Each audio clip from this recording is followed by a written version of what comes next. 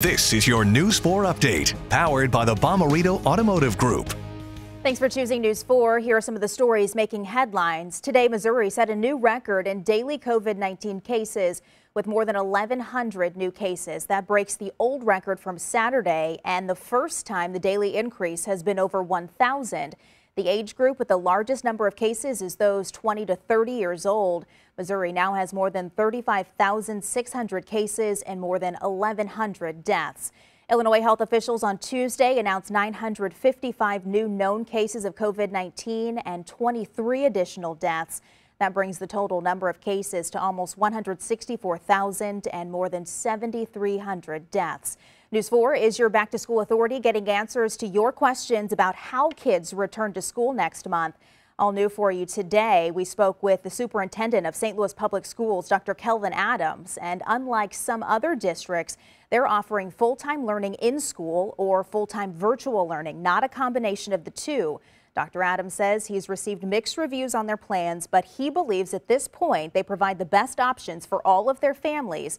He also said busing will be safely offered for families who choose to come to school. Right now, it looks like about 60% of our families are saying they want virtual based on information we received last night, uh, which means that we will have less kids on buses. So that is a high probability, a possibility that we'll have less families on buses. And obviously the social distancing piece can be easily managed through that way. Today, several more districts did release their return to school plans. We've heard from Wentzville, Festus, and others.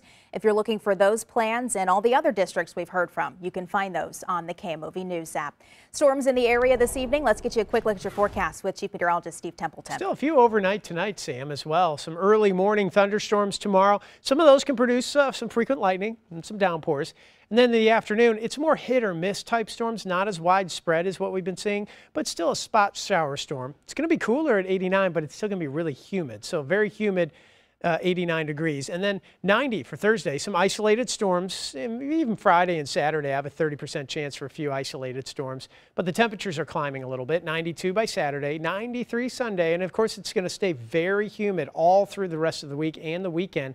So for instance, Sunday's 93 will feel more like 104 to 105. All right, Steve, thank you. That is your News 4 update. And remember, we're always on at KMOV.com and on your KMOV News app.